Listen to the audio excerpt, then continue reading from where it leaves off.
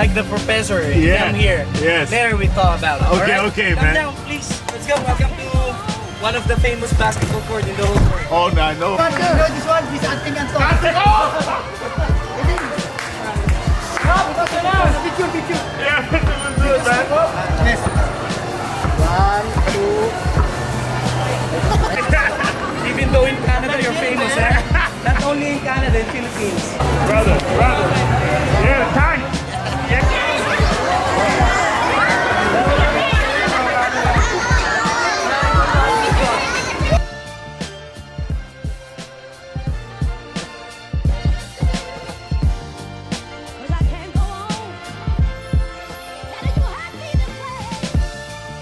Yo, King, can you tell us something about uh, your tour here? What's your purpose? Why are you going here in the Philippines? Oh man, basically just to showcase my talent uh, here. I always wanted to come to the Philippines uh, just to play ball, play some street ball. I used to watch um, uh, Flash, Little Flash when I was younger. Um, and it's really good to meet him. But also just give, coming here to give him back to the community and show him and just spread the game of basketball and not just basketball, street basketball, and just to have fun, show the kids to just have fun with the game of basketball.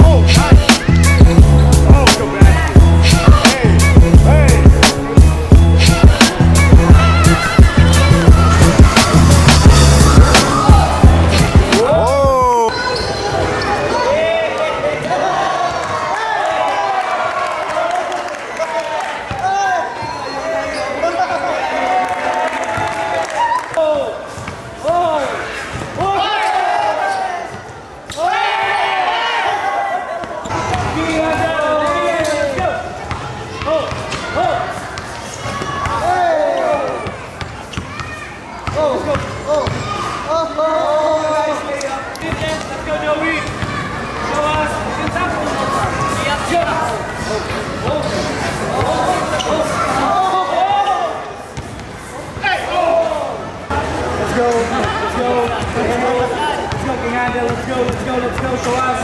Hey, hey, hey.